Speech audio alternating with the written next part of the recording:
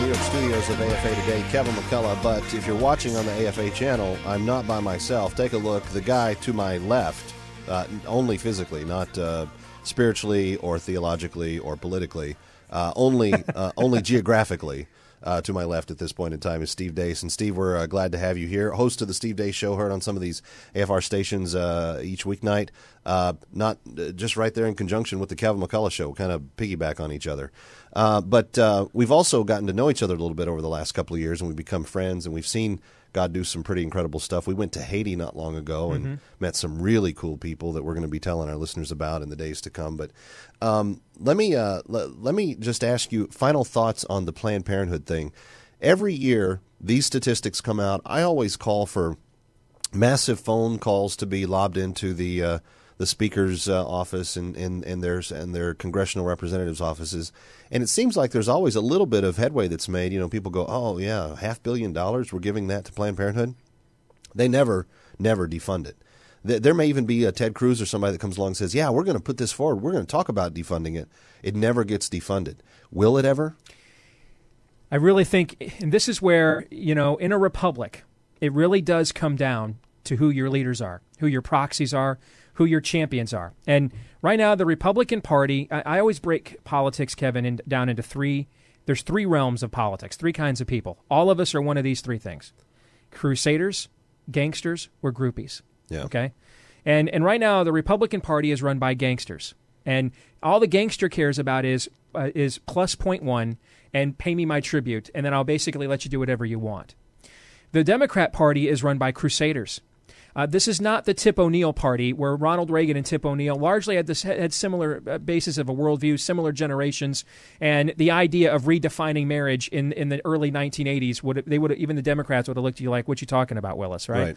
We're now not dealing with liberals now. We're dealing with a new generation. Just as just as the, the the emerging generation of the right that you and I represent is more confrontational, the emerging generation of the left is far more is is, is leftist. They're not. This isn't the right of center, left of, left of center debate. How much should government help the little guy debate we've had since the dawn of the welfare state. Right. We're now talking true Marxism, true cultural Marxism. I, I, I was talking in and New York unhidden, City. Like yes. completely out in the we open. just elected a Bolshevik mayor of New York City. I mean, oh, an open Bolshevik is mayor of New York City. Define okay? what you mean by that. What I mean is, if you look in, if you listen to what De Blasio was saying, they are the pretenses and premises of the Bolshevik revolution that led the Soviets into power. And there's and there's a pattern there. I say on my show all the time, bad Republicans always lead to even worse Democrats. George W. Bush went just beyond off the rails, trying to save his legacy, save the unpopularity of the Iraq War, signed over really the death warrant of the welfare state in the last half of his second term. Mm. And all that did was set the stage now for the Democrats to come in and say, well, that's now the new baseline for what the size of and scope of government is going to be. So guess what we're going to do when we take over? Same thing happened here in New York City.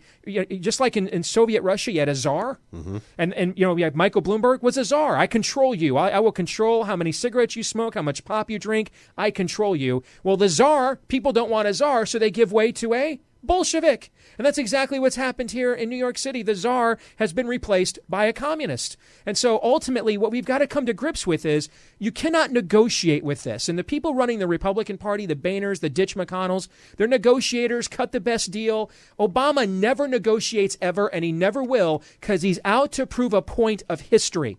And, uh, and, you, and you can only beat crusaders in politics, Kevin, with your own crusader. Right. You cannot beat him or his ilk with gangsters because they'll cut the deal they don't want to accept the fact that there's absolute good and absolute evil. If they if they did, they wouldn't be gangsters, right? So you're not you're only going to beat the left's crusaders with your own champions or crusaders. Otherwise, you're really just negotiating on their terms, and they never give anything. And we have some of those coming up in the pipeline. You see crusaders uh, on the horizon I, for. I, I think there's potential. I love Ted Cruz. My audience knows that, um, and I like a lot of what what Rand Paul has done. I don't know that I like some of the people around Rand Paul. Uh, but but I'll be very fascinated to see because I think the Republicans are going to capture the Senate this year, and if they do, it's likely going to be like fifty-one to forty-nine. And so if you're really excited about Rand Paul or Ted Cruz, and they've both given you reasons to be, wait until they're in the majority. Now this is what happened to Rick Santorum. People forget in the 1990s, Rick Santorum was the Ted Cruz of the 1990s. Right. The conservative grassroots loved him. He was everybody's it speaker, everybody, every conservative group's fundraising keynote speaker. Then what happens is early 2000s, the Republicans get total control of the Senate. But this time, unlike in the 90s, they've also got a Republican president. Right. He comes in without the popular vote. He's unpopular. Then there's an unpopular. Then they want to go to war. It's very controversial about whether, to preemptively invade Iraq. And the pressure to be, as, as Santorum described it, the quote unquote team player becomes overwhelming, and he finds himself endorsing Arlen Specter, Christy Todd Whitman, voting for No Child Left Behind and Medicare Part D. And all of this led to him losing his Senate seat by 18 points, which, according to my research, is the worst loss any incumbent U.S. Senator has ever had Wow. in American history that was not involved in a scandal. Okay? And that happens because your base feels that you're going to lose anyway. So why should I show up for you? If you're going to lose anyway, I'm going to make you. I'm going to send a message. And so I want to see what happens when Cruz and Rand Paul are in a scant majority. And now it's it, it's easy to take some of these really most principled positions when they're never going to see the light of day. But when the when the entire culture of Washington puts the pressure on you to say, you know, this turd just isn't as stinky as the one we would we would serve up, and we need you to cover our backsides, and we need you to to be a team player. It'll be very interesting to see if they're still able to withstand the corrupt culture of Washington D.C. And I sort of describe it this way to our audience: when you get elected to federal office nowadays, it's like when you buy a brand new car. As soon as you drive that puppy off the lot, it starts deteriorating Right, in value. right. So if I'm Rand Paul and I'm Ted Cruz, I don't wait a, a few more years to run because likely the longer you're in Washington, the worse your star is going to get. Run now while it's still hot because that the, the culture there really is it, it's almost to a point where we've just got to drain the swamp and say it's insalvageable. Well, I think there's a lot of people that feel that way, and I, I know one thing. Um, I, don't, I don't know that I'm looking forward to young guys running, um, which kind of goes against what you were just talking about. But uh, we've had a, a, a series of young presidents since Clinton, and um, I don't know that we've come out ahead. I- I'm, I'm almost I'm almost looking for instead of someone to be my daddy, I want somebody that's more of a, a of a saged grandfather that kind of has some wisdom in their uh, in their in their bank. Um, it's going to be it's going to come down to can we get the most principled guy against the least principled person from the other party, and if Hillary Clinton turns out to be that person, Steve, and we'll turn uh, topics here a little bit. This is going to get really interesting because today out of Washington, you've got a bipartisan Senate report that says the blame for Benghazi is on the Obama administration. This isn't a Republican report. This is a bipartisan report.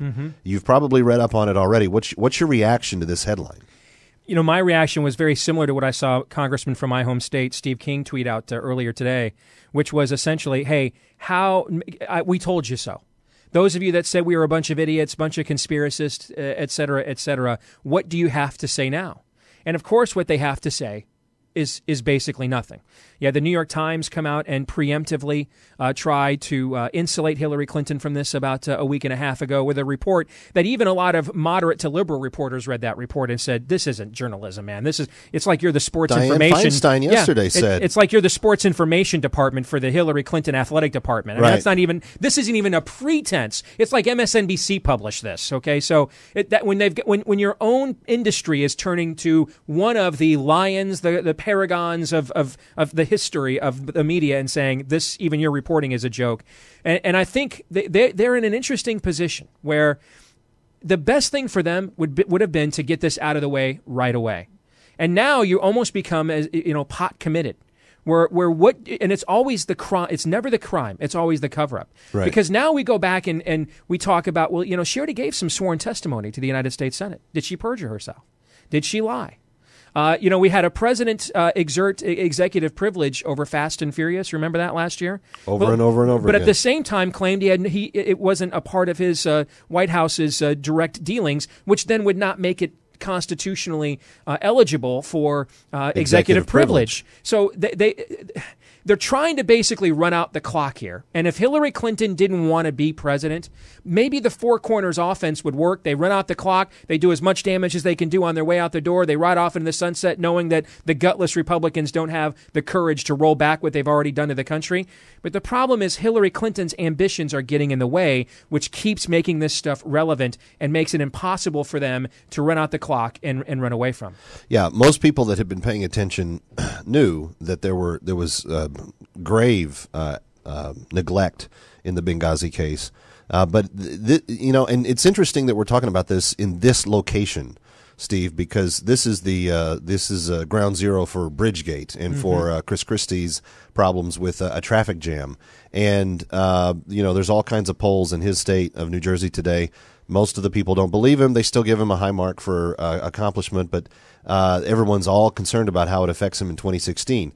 Let me just say up front, I, he's not my guy for 2016, so I, I don't really care about I that. I thought he was anyway. toast in 2016 before this even began. The day that he said that you took you took away voluntary counseling for kids that yeah. uh, have uh, struggles with their sexuality, uh, and that that can't be done anymore. That he he lost me completely on that. Finally, after uh, giving him the benefit of the doubt on some I, I think we, you bring that up. That needs to be fleshed out more. Essentially, what Chris Christie did was sign a, a pretty good rule of thumb, ladies and gentlemen. It's not a tried and truism, but it's probably darn close.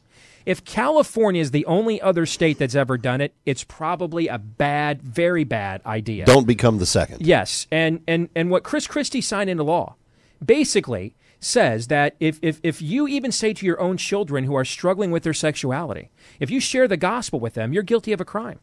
Uh, that's basically what it is and and and for the Republican Party, which would not be where it's at, would not have ever won a national election. There would not have been a Reagan coalition without the original moral majority, the original religious right, the original values voters. It, it was it was really a waspy minority Northeast party until we came along to then turn around to us and say, oh, by the way, your new champion is a guy that just signed a bill into law that would make you a criminal for sharing the gospel to your own children.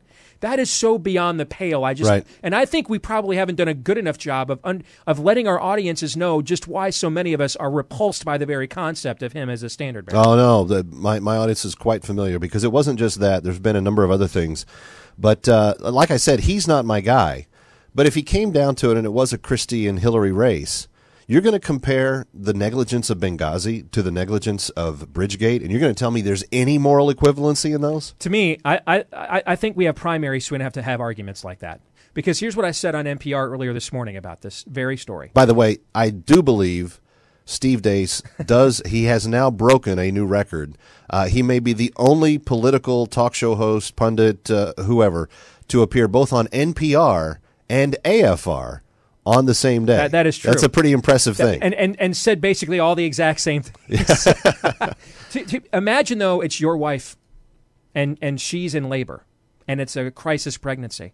And you're on the most populated bridge on planet Earth. Right. And Chris Christie's buddies, they're actually, we find out they're standing outside laughing. They're enjoying it. They're getting a good look at it. They're sending snarky tweets, snarky emails back and forth. Imagine it's your dad you know, he had a heart attack on the job and he's sitting in the back of an ambulance and they can't get to where they want to go because they shut down the George Washington Bridge to one lane. Which, to you know? be clear, we don't know that anything like that did happen. No, but it, that's Just the point. It could fairness, have. It could and, have. And, and whether he knew about it or not, to me, Chris Christie's not a hero. Comparing Chris Christie and Hillary Clinton, if you look at their records, Christie's judicial appointments, a lot of other things, the reality is Chris Christie is a Democrat fairly moderate Democrat, likable, moderate, boisterous Democrat, liberal, not really a leftist, but he's not a Republican. He's really a Democrat. And yeah, you want a huge election in New Jersey. Republicans had one net gain seat down ballot in the same election. He had no coattails. In fact, he went out and actively worked against the Republican Senate leader trying to win the Republican majority. And he went out and actually worked for three Democrat candidates uh, instead and endorsed them so the Republicans couldn't even get the majority of the legislature in his own state. Mm. All right. So, but, so I think, it, you know, we can walk and chew gum the same time as Christians. So I think we can clearly point out what you just mentioned the sheer hypocrisy of the media. All right, where we left a diplomat to die three other Americans to die. And then we joked to their family members uh, about uh, the, you know, we made sordid jokes like Biden did to their family members while they're mourning. Still haven't given them justice. Lied to the American people about it for well over a year. Put a tr- basically put a guy in prison and and made him out to be some patsy fall guy because it was some video that he made and we all knew it and they all knew it was a lie from the beginning. We can clearly point out the hypocrisy of the media here, but to me that doesn't absolve Chris Christie, Kevin, because just imagine how what the the recklessness of that decision and the fact and, and I want to make sure our, our audience understands the genesis of this entire story is that the Republican governor of New Jersey, who was going to win by double digits no matter what, right, was upset that the Democrat mayor of a city wouldn't endorse him. And his staff, that's what caused his staff to do this. When you say for sure, sheer petty, trivial politics like that, I'm going to put that many potential lives in danger, whether you know about it or not. If you have underlings working for you that believe the people that you know, you and I have staffs, the people that work for us, do we create atmospheres that, that would make them think they could be that reckless? That that could ever be yes, okay. no, Yeah. no, no way. So what does it say about that? And one of these guys that he had to force to resign, everybody knew was going to run his presidential campaign. Now they're talking about these guys might go to prison. So you can't have people in leadership positions that empower people underneath them when they take the sheer joy in a reckless decision that might have blessedly cost a lot of lives, and it didn't, but it certainly could have. Right.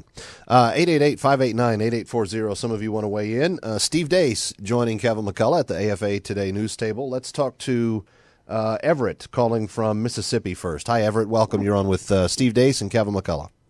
Oh yeah, Kevin, Steve, good to be on with you guys today. You too. Um, I just had something to say. You know, we got this re- bipartisan report out about Benghazi, and I'm one of these people. You know, I'm kind of a. I listen to both sides. I'm obviously a extremely. I, I'm probably re- conservative enough to make Ronald Reagan look liberal, but um, I have yet to hear anything at all whatsoever on any major media even about it. I don't think that people are even going to find out unless they listen to AFR. I mean, Okay, Everett. uh, I appreciate the call. Uh, unfortunately, that music means we're up against it. We'll come back. Uh, more of your calls ready to be taken at 888-589-8840. Kevin McCullough with Steve Deace at uh, AFA Today on AFR Talk. Stay with us.